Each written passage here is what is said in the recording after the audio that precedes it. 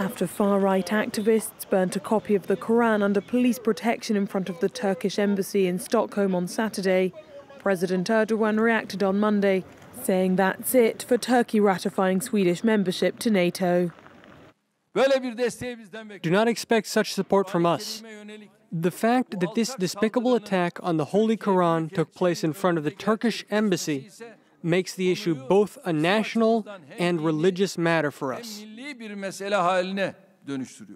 The act has triggered protests in Jordan, Yemen, and Iraq. Erdogan immediately said no when Sweden applied to join NATO last May, and attempts at salvaging relations just enough now seem dead in the water as Ankara cancels the Swedish defence minister's visit and uninvites the Speaker of the House.